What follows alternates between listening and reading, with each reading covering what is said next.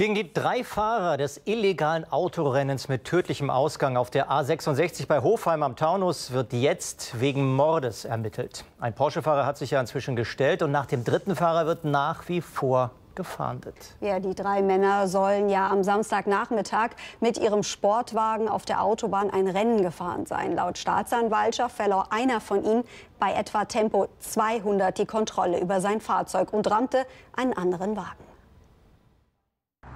Das Ende eines illegalen Autorennens. Eine unbeteiligte Frau ist tot. Und noch immer wird nach dem dritten Raser mit Hochdruck gefahndet.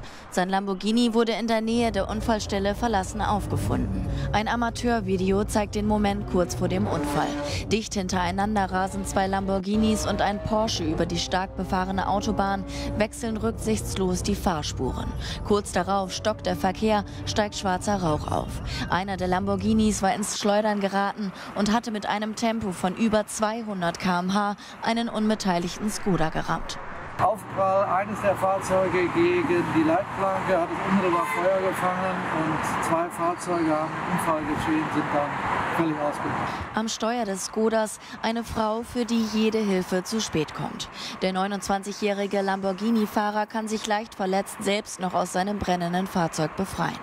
Er heißt Navid F., ist Iraner, hat auf Instagram mehr als eine Million Follower.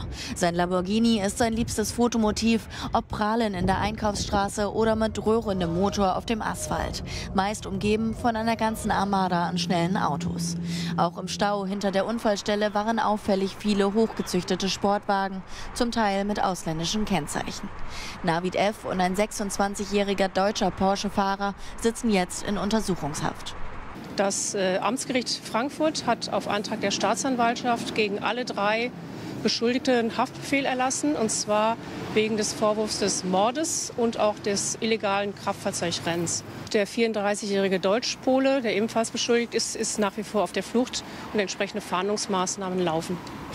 Die Staatsanwaltschaft ermittelt also wegen Mordes. Sie geht von niederen Beweggründen aus und dass die Raser den Tod anderer Menschen billigend in Kauf genommen haben.